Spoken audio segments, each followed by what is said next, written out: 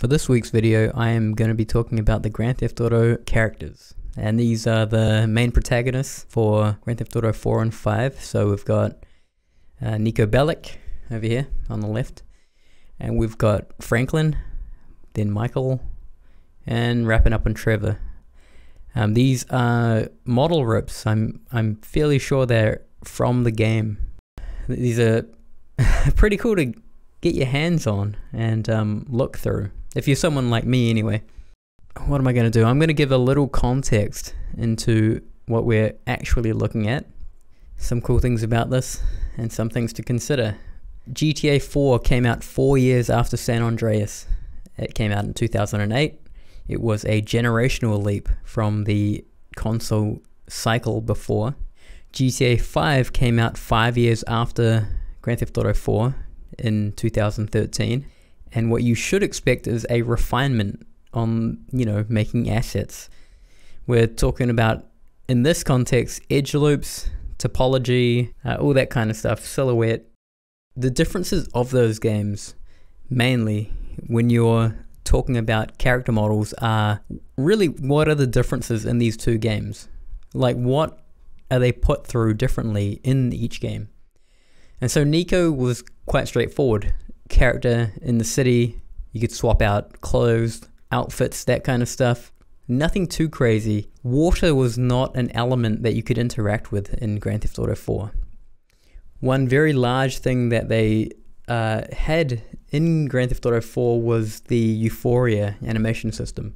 But these are not, uh, you know, these wouldn't break tradition in terms of what kind of movement sets that he has and animations that he can do. Everything's fairly standard. Walking, running, it, it just looks much better. So it's just a more advanced movement system rather than pushing uh, beyond realistic movement. And so these Grand Theft Auto 5 models are really um, polish, I think. It's these two games are released on the same console generation. What I will get into is showing you how similar they are in some respects and how different they are in others. And so the differences should be, again, refinement. They're, they're really just ironing out kinks. You know, these aren't huge changes in terms of asset creation. I think they had a very good understanding of asset creation going into Grand Theft Auto 4. And yeah, let's, let's go ahead and talk about it. All right, so base poly counts, this is what, you know, on paper, a lot of people talk about these consoles were very much polygon bound, um, unlike you know modern PCs nowadays. So polygon count is, is of a concern. So we have Niko at 19,000 ish, Franklin pushing 25,000, Michael 31,000, and Trevor at 26,000. And bear in mind, these are kind of rough ideas. You can, again, swap out clothing. You can change appearances. You know, there is a range here. You can see that it's roughly 20, 30,000. And each of those items of clothing would follow that kind of same resolution. Nothing, nothing too crazy. If we look at polygon distribution, check out these head, head models. So Niko stands in at 7,600 uh, polygons uh, triangle, sorry, around his head. And then we have these Grand Theft Auto 5 characters, which are much larger. We're talking almost double. Um, so Franklin, 12,000. Michael at 17,000. And Trevor at, you know, 15,500. Pretty big improvement here. Um, remember, we're just looking at models, so this is probably an improvement on just facial articulation in general. So I think if I was to have a look at the rigs, um, like each character rig, I'm, I'm sure that the Grand Theft Auto 5 are far more advanced than 4. Yeah, and well, just looking at the models, you can see that they're way more advanced. So, what are the differences? Grand Theft Auto 5 characters are largely a refinement, as I mentioned earlier. The proportions are much more realistic, better deformation. Check out this um, pinch type loop technique. I think this is like quite a, uh, a revelation in terms of like, what would you call it, deformation, and really a, a more dynamic type of deformation which is kind of cool. So you can see it here in Michael's elbow, and then again used in Trevor uh, in, in his pants, the in the knees. So wherever there's this one directional, or sorry, one axis deformation, you can see that there is a version of this kind of uh, polygon loop. This is something that I noticed and have used in some games I've worked on, which is really cool. I, could probably talk about it a little more, but the idea is if you place a joint in the center, these two edge loops, because they're spaced out so far, they end up actually deforming themselves from each other and they will never actually collapse into themselves, if, if that makes sense, uh, because the pivot is, you know, off. The hand UVs are much more improved. Check out Niko's where each of the fingers are unwrapped. And then we have a look at the Grand Theft Auto 5 characters, and you can see it's really just the palm, the back of the back of the hand, you got the thumb, and one finger. because look look at how they do it on Niko's, you know, on, on Niko on Grand Theft Auto 4. It's really just, you know, copy and paste. And so this is one of those things um, I talked about in the last video. When you know the resolution you're making assets to, you can min-max it. And um, this is one really cool thing I like to see executed for a game like Grand Theft Auto 5. All characters, you know, use a form like th this is basically the base hand model, and they just use it for everyone, kinda. And then they all, you know, make different normal maps and different proportions here and there. But all the loops are very much defined here.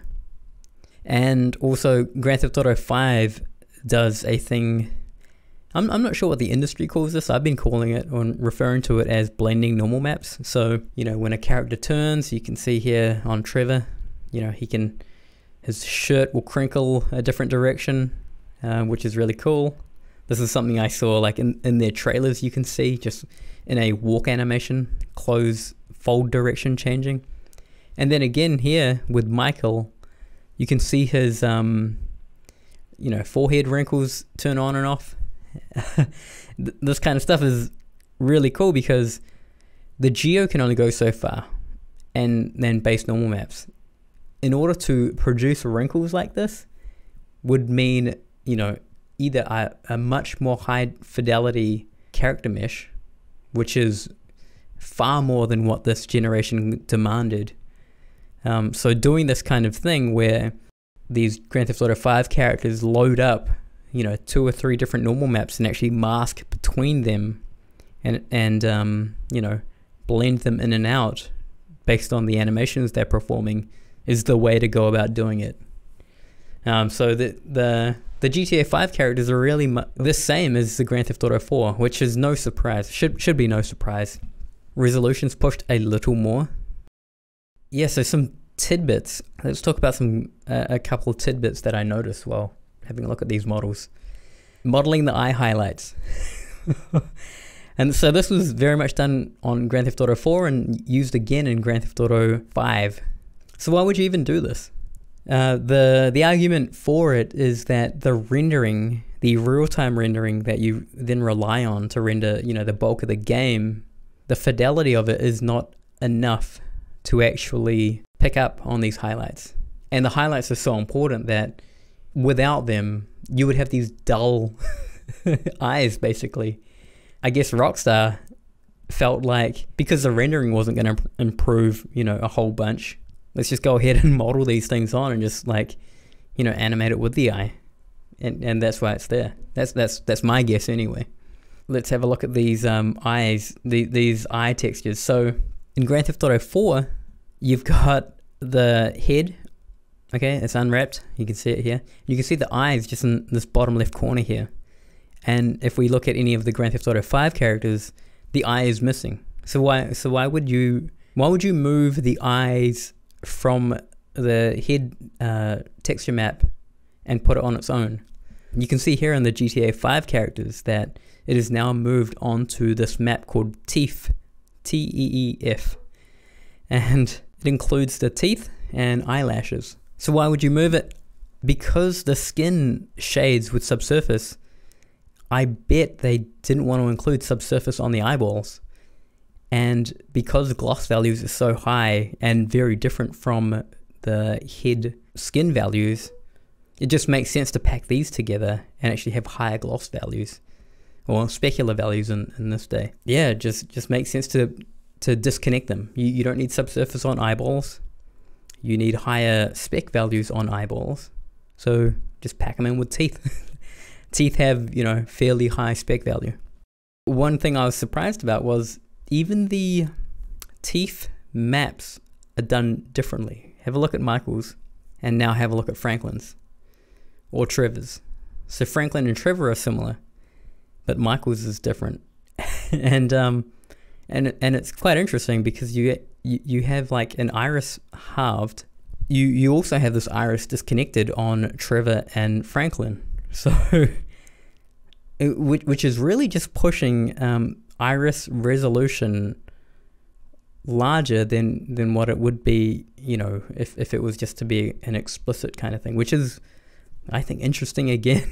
I, I think all these choices that were made are uh, not obvious. If you if you asked any like student studying this kind of stuff, they probably would have just unwrapped it, you know, uh, like completely unwrapped it. But I, I love how resourceful these maps are and that they would do such a thing like this.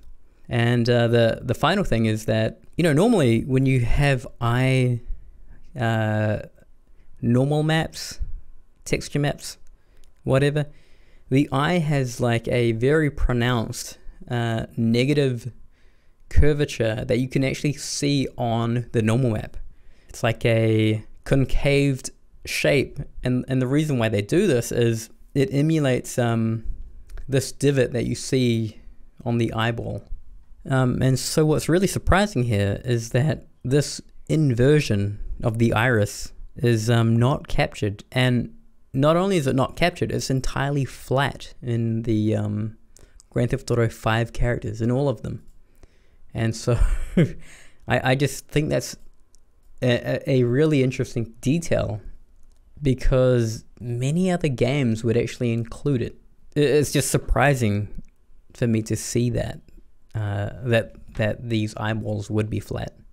So, in summary, sadly, Grand Theft Auto 5 marks the end of the seventh generation console assets. We all know Red Dead Redemption 2 follows, and because of the generational leap, the the techniques used in order to make these assets, the Grand Theft Auto 4 and 5 assets, and replaced with a completely different way to make assets. The seventh generation character models, for me, are a true representation of when games needed to do the many smoke and mirror techniques to sell characters. Min maxing polygons to get the best out of every triangle rendered.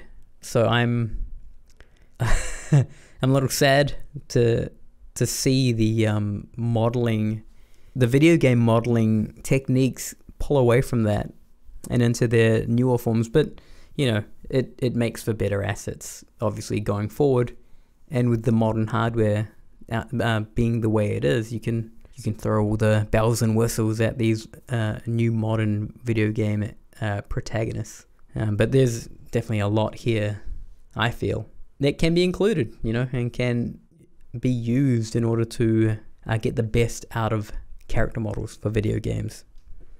Thank you very much and catch you next time.